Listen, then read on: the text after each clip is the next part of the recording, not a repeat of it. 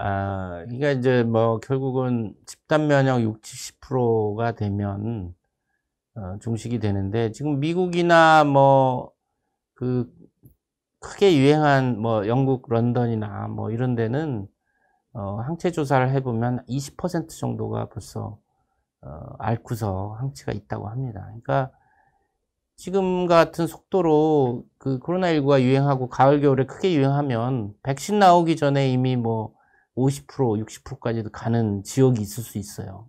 그런 데는 이제 유행이 어, 줄겠죠. 왜냐면 먹잇감이 없으니까 항체가 있는 사람이 대부분이면.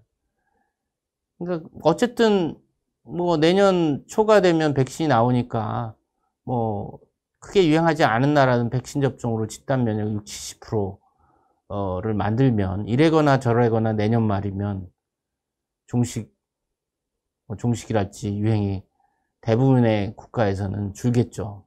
먼저 유행을 한 나라들은. 뭐 그거는 뭐 충분히 예측이 가능하죠.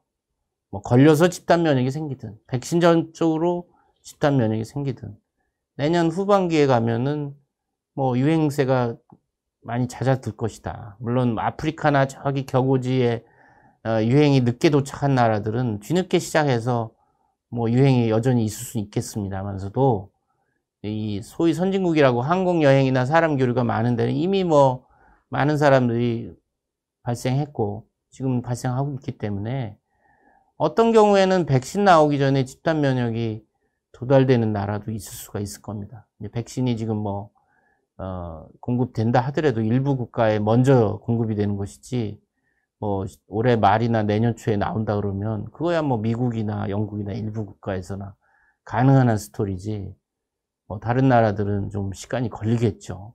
그런 측면에서 뭐 충분히 뭐 그런 말을 한 타당성이 있다고 봅니다.